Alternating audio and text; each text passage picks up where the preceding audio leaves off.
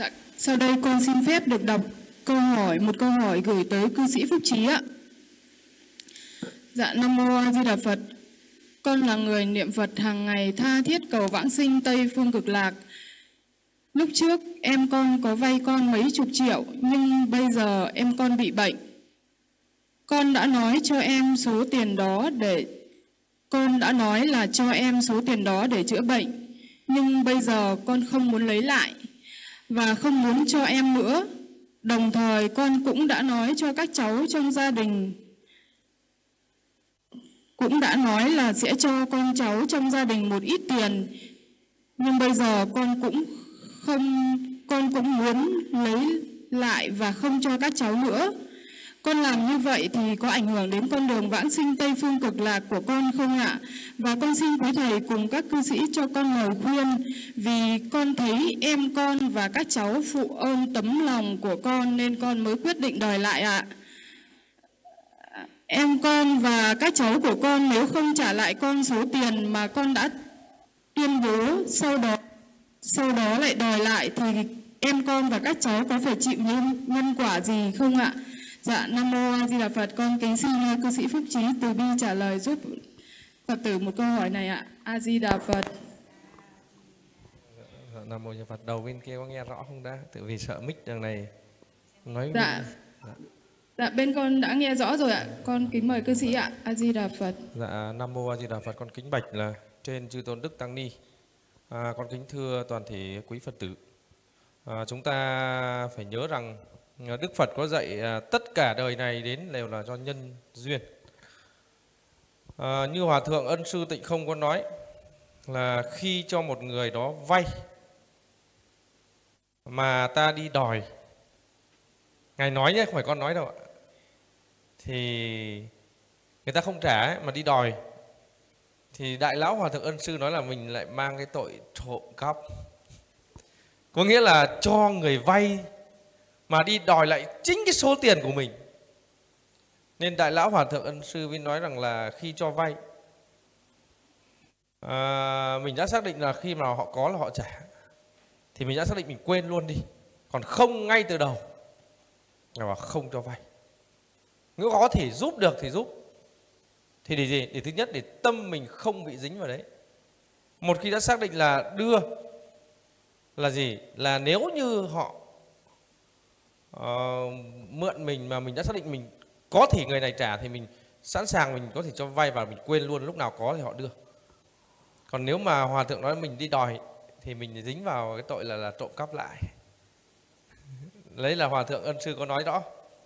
Như vậy thì khi mình đã còn mình đã cho vay này xong mình còn tuyên bố là cho họ thì có nghĩa là đã cho họ rồi. Vậy bây giờ lại đi đòi lại thì mình trộm lại của họ à, cái tiếp theo nữa là gì? Là khi mà mình à, đưa cho họ ấy và mình à, thay đổi ý. Vậy là gì? Với lúc lâm trung ấy nếu cứ chập chờn như vậy thì lúc lâm trung nó sẽ hiện ra. Thì cái này nó sẽ ảnh hưởng đến lúc mình ra đi. Nên chính vì vậy mà hòa thượng với để cho chúng ta à, buông xuống là vì ngài nói rằng là một khi đã đưa ra thì lúc nào có, họ trả đừng bao giờ nghĩ đến nữa. Buông là buông luôn. Còn không là thôi đừng cho vay nữa. Vậy thì hôm nay cái người mà cho người chị hay người em mình vay như vậy, mình đã xác định như thế rồi thì thôi. Ờ, mình ờ, thực sự ngày đó là nếu như mà cái tâm buông xuống, thì coi như mình cúng dường, coi như mình bố thí ấy. Thì đại lão hòa thượng nói là gì? Cái phước của mình nó lớn vô cùng. Phước lớn là vì cái tâm đó là tâm, lúc đó là mình mình cúng dường, cái tâm nó tâm bố thí đi. Thì cái phước nó trở lại. Đối với mình ấy, thì nó gấp nhiều lần cái chỗ mình đưa đi. Đấy là đại lão hòa thượng ân sư có nói cái việc đấy. Là khi là mình thực sự buông xuống, thực sự cho họ, thực sự là bố thí hoặc thực sự cúng dường cái đó đi, thì tự nhiên trong vận mạng của mình, phước báu nó tăng lên. Thì có thể giúp cho mình lúc ra đi nó tỉnh đấy. Đâu biết rằng là lúc ra đi phước báu mình như hôm trước con nói là chỉ thiếu bằng con ruồi thôi. Đúng không? là con ruồi nó đậu vào đầu xe bên này hoặc đậu đầu xe bên kia là có thể xuống vực hoặc, ờ, hoặc là lên bờ đấy.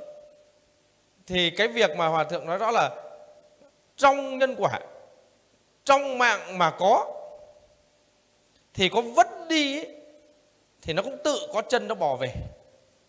Còn trong nhân quả mà mình nợ người ta ấy, thì không bằng cách này thì cách khác họ cũng lấy đi, không bao giờ lấy lại được. Vậy hôm nay chúng ta phải hiểu đấy là người tin sâu nhân quả. Vậy biết đâu rằng đời trước mình nợ người ta, thì hôm nay người ta không trả, hoặc là mình tuyên bố cho rồi, thì đấy là thuộc về của người ta. Thì hôm nay mình lại đòi người lại, thì có nghĩa là mình lại lấy lại là trộm cắp. Vậy thì vãng sinh được hay không? Thì đại lão hòa thượng ân sư có dạy rằng là buông nhiều thì vãng sinh dễ buông xuống thì vãng buông ít thì vãng sinh khó, mà không buông thì không vãng sinh. Vậy sự vãng sinh của mình là gì? Tín, nguyện, hạnh. Nên hôm trước con có nói là gì? Tín ở đây không phải ở nơi lời nói. Trong cái tín, nó là y giáo phụng hành. Thì hòa thượng ân sư nói là dưới tín thì nó có giải, dưới giải thì nó có hành dưới hành thì nó có chứng, gọi là tín giải hành chứng. Thì đây mới gọi là người thật sự tin phật. Người như vậy niệm phật thì chắc chắn vãng sinh. Vậy hôm nay là vãng sinh hay không? Là cũng chẳng phải là vì mấy cái chục triệu đó. Nếu mình biết buông xuống thì lâm trung tỉnh vẫn vãng sinh. Còn nếu như mà mình không buông xuống được lúc lâm trung, vướng ở trong đó, trong vòng luẩn quẩn mà tiếc lên tiếc xuống thì khó bề mà vãng sinh tịnh độ. Có nói là gì? Khi đã buông là buông giống như cái ca mà hộ niệm chúng ta hộ niệm cái ca cô. Cô ái cô gọi gì cô thì cô cô cô gì ở dưới um, liệt việt trì bây giờ đấy.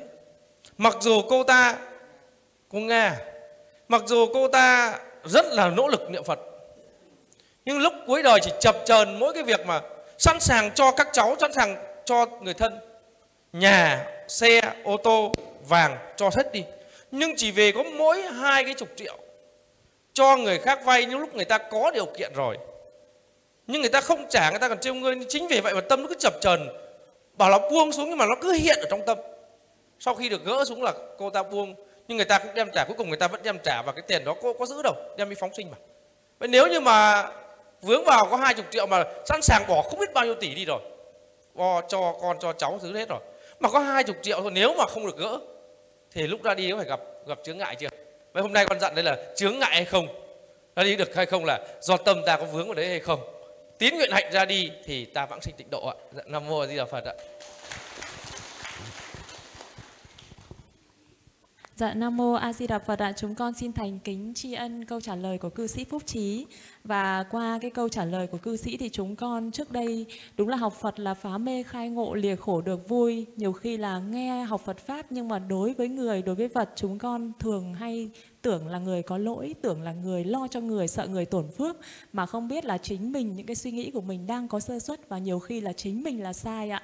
Và chúng con xin tri ân cư sĩ một lần nữa và một tràng vào tay thật lớn ạ. Nam mô A Di Đà Phật.